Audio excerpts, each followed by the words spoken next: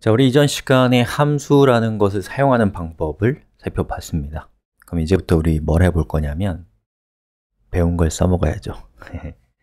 자, 여기 우리가 만들고 있는 이 Open Tutorials 만들기의 예제를 보시면 자, 보시는 것처럼 클릭했을 때 제목이 바뀌는 것을 볼 수가 있죠. 한번 볼까요? 예, 제목이 바뀌는 것은 이전에 우리 했던 거 여기 있는 이 부분. 달러 underbar get 그리고 대괄호 안에 id라고 하면 이 URL의 파라미터 값을 값이 얘가 되는 표현식이라고 말씀드렸죠 예. 자, 그럼 이것과 함께 이제 우리가 하고 싶은 것은 여기 있는 본문 부분은 지금 요지부동이란 말이에요 그렇죠? 그래서 여기 있는 것을 클릭했을 때 제목이 바뀌듯이 어, 여기 오타가 있네요 자바스크립트 제목이 바뀌듯이 script인데. 음. script 죄송합니다. 얘기하다가 이래서 빌로 샜네요.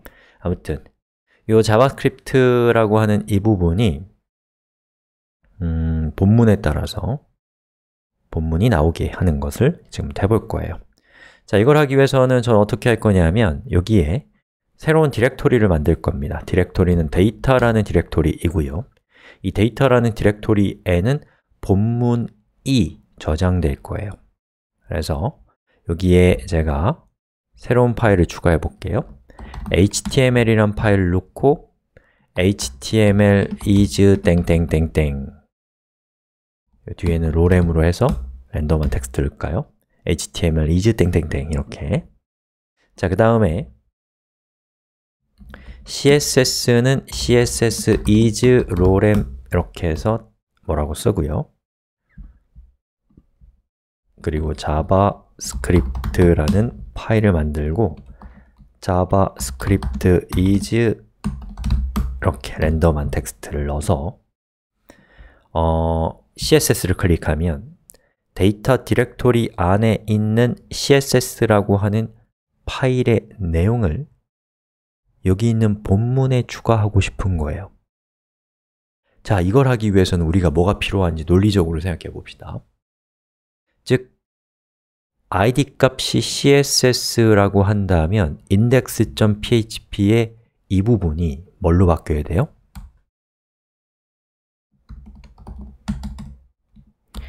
Id 값 자, 데이터 슬래시 id 값에 해당하는 파일을 읽어서 파일의 내용을 여기에서 에코를 하면 되지 않을까요?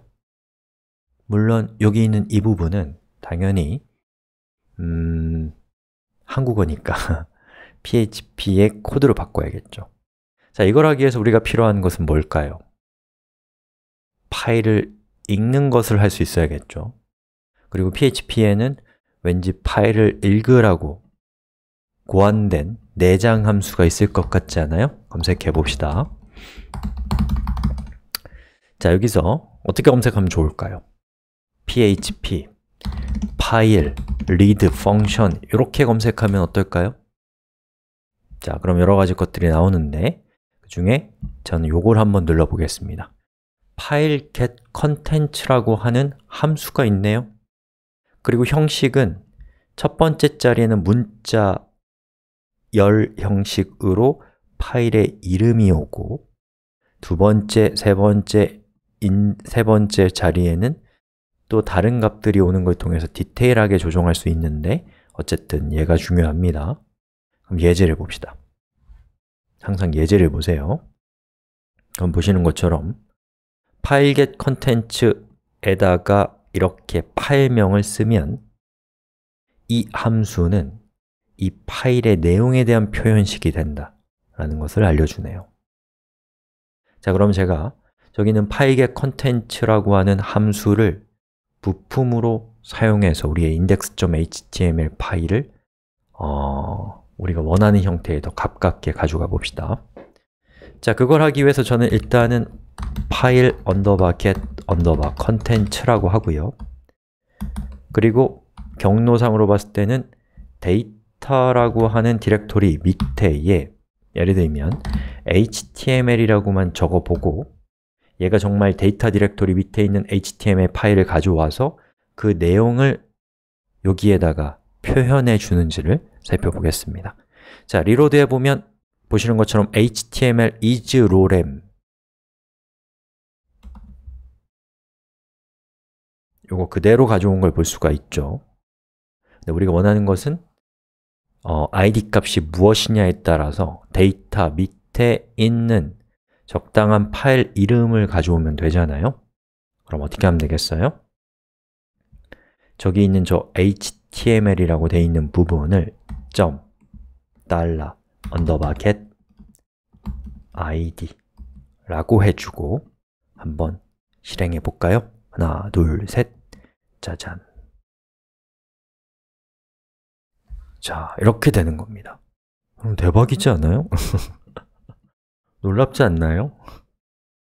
자, 바로 이 파일겟 컨텐츠라고 하는 함수를 통해서 예, 우리가 id 값으로 들어오는 값을 이렇게 프로그래밍적으로 PHP를 통해서 경로로 전환해 준 다음에 그것을 파일겟 컨텐츠의 입력값으로 주면 파일겟 컨텐츠는 그 입력값으로 들어온 경로에 해당되는 파일을 찾아서 그것을 표현해 주는 표현식이다 라는 것을 우리가 볼 수가 있는 것이죠. 물론 지금 우리가 살펴본 이 예제는 어, 교육적으로는 아주 좋은 예제라고 저는 생각해요. 왜냐하면 이야기가 아주 쉽거든요, 비교적.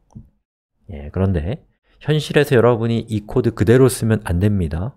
제가 복잡한 이슈 때문에 언급하진 않았지만 보안적인 문제라든지 어떤 규모의 문제라든지 여러 가지 문제들이 생길 수가 있기 때문에 여러분이 신뢰할 수 없는 사람이 사용할 수 있는 환경에서 이런 코드로 동작하는 어, 웹 애플리케이션을 어, 또 중요한 웹 애플리케이션에 돌리시면 절대로 안 됩니다 보안적인 거나 이런 것들이 지금은 고려되어 있지 않다는 것을 제가 말씀을 드려놨습니다 예.